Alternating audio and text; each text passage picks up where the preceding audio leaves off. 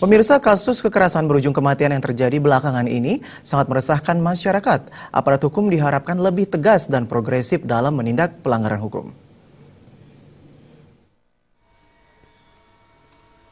Sebagai negara hukum, tentunya aparat hukum harus bertindak tegas apabila terjadi suatu pelanggaran hukum. Pengamat hukum Tuni Sukabawa menyatakan, dalam hal ini polisi tidak boleh takut apa pun kekuatan sosial yang nantinya mengganggu ketertiban masyarakat dan melakukan pelanggaran hukum, polisi harus tegas memberikan tindakan hukum. Jika kemudian ada keributan antara ormas, baik dengan antar ormas maupun masyarakat, polisi harus tegas. Uh, jadi begini, uh, sebetulnya ormas-ormas uh, yang yang ada, baik itu pada apa pada level nasional maupun pada level lokal itu sebenarnya kan punya tujuan, punya visi misi.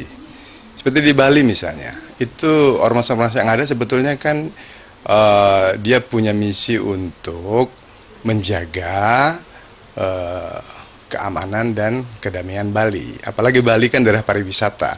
Tentu persoalan keamanan ini menjadi prioritas, ya.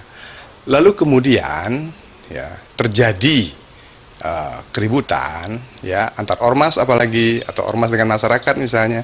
Jadi polisi harus tegas untuk melaksanakan itu. Jangan khawatir.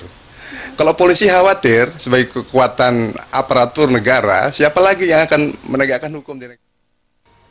Persoalan keamanan di Bali menjadi salah satu prioritas apalagi Bali sebagai daerah pariwisata. Agung Ria dan Agus Sudiat Miko